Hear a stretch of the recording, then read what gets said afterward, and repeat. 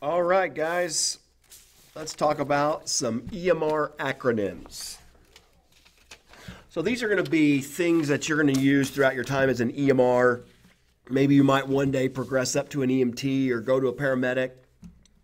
Throughout your entire time in first response, this will be something that you're going to use.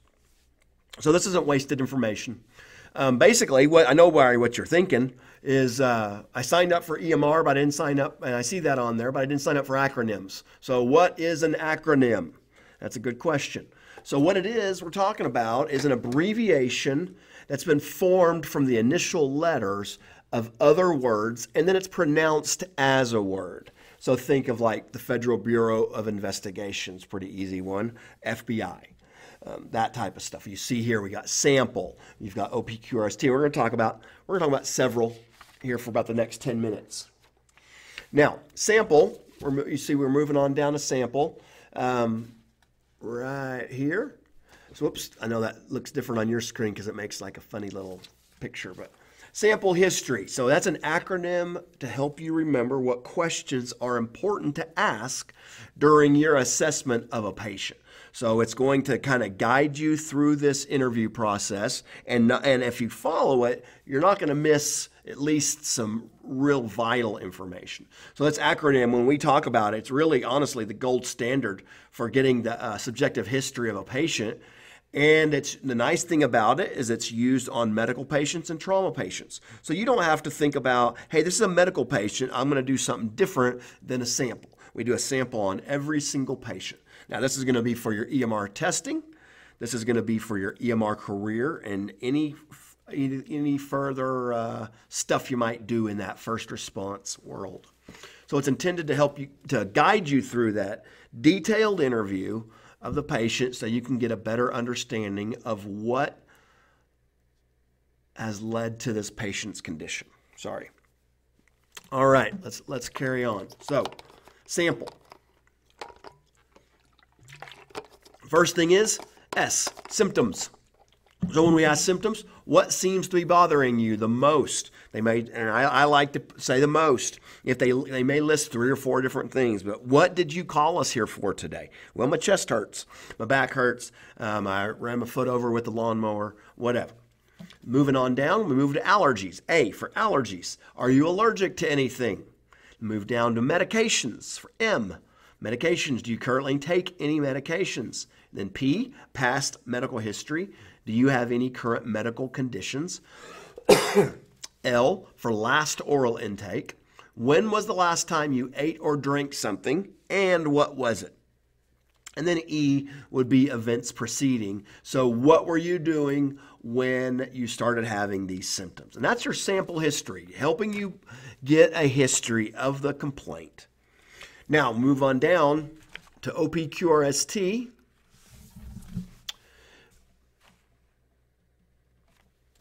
It just keeps moving on me, doesn't it?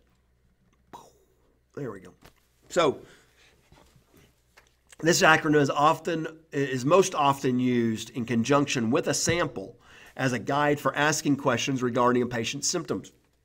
But really specifically pain is when this is the best.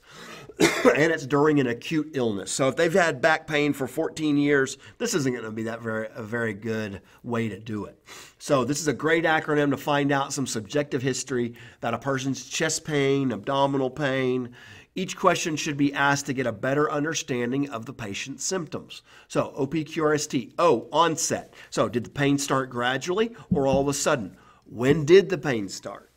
Provocation. Does anything make the pain feel better or does anything make the pain uh, feel worse? Quality. Can you describe it? So we're talking about sharp, dull, you know, pressure, those type of questions. Radiate. Where is your pain? Does it go anywhere else in your body? So sometimes, you know, you might, you guys have probably been on a call or, or you will be very soon where someone, they have chest pain right in the center of the chest and then it moves, say, into their left shoulder. And um, there's a lot of physiological reasons for that, but those are things that, that help us understand what's going on within their body.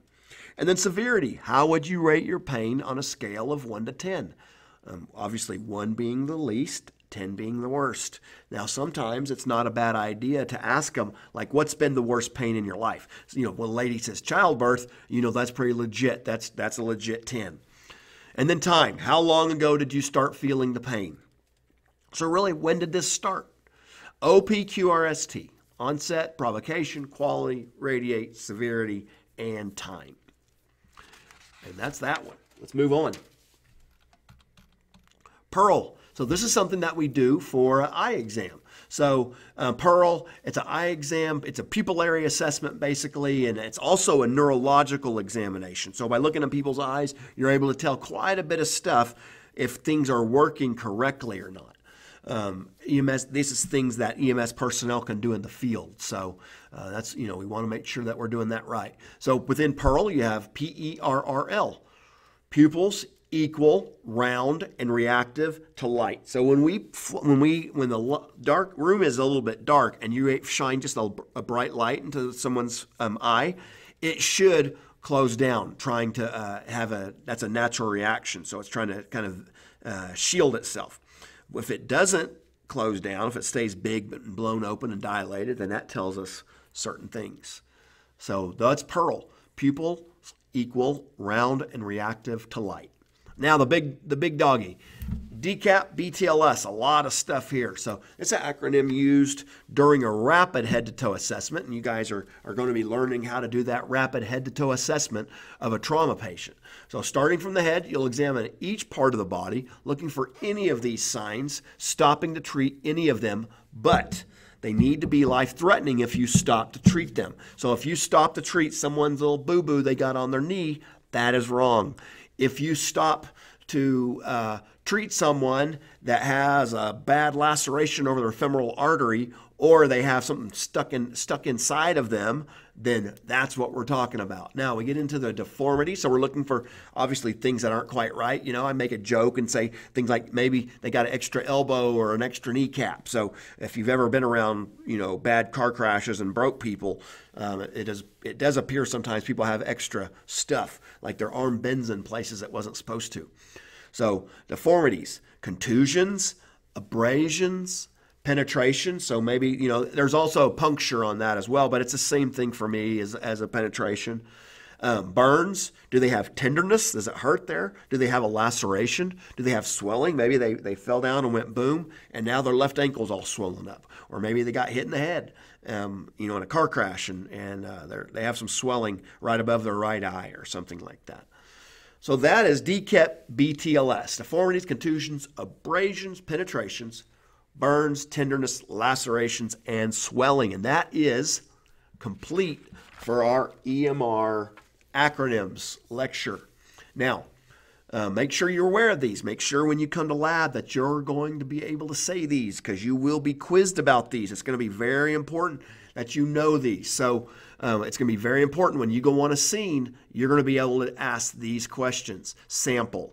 It's going to be very important when they say that they've got, oh, I skipped one. So I'm glad I came back up here. Um, it's going to be very important when they say they got the chest pain that you go, oh, I should use the OPQRST here. Well, when when did it start, and what you were you doing when it started, and does and does the the pain um, does it get any better or any worse with anything? And those all those questions. I'm sorry, I don't know how I fi- how I skipped right over that. So AVPU, this is a uh, this is a, an acronym that's used as a as a tool, I'm sorry, I turned around for a second, as a tool to record and document a patient's responsiveness to determine their level of consciousness.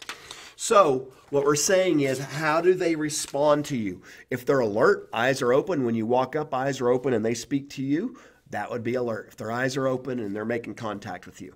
If verbal, if they um, their eyes are not open and you're saying something to them and they reply back to you with uh, with words, but they're not looking around and their eyes aren't open, all of that. Pain, uh, be verbal. Pain is when they don't respond to verbal, Then you have to go down to pain, which is like you give them a little sternal rub or, you know, they get a little pinch or something and they respond to that. That's, and these are all things that tell us as the paramedics or EMS crew that basically what we're talking about here is they're getting sicker and sicker. So everyone should be alert. And then people that are ver- that are verbal, they could be sick, maybe not sick, but people that only respond to pain, that's not very good, obviously. And then unresponsive patients, they're probably pretty sick. So that's the AVPU and then Pearl and DCAP BTLS. All right, that's at 10 minutes. So EMR acronyms. If you guys need anything, just let us know.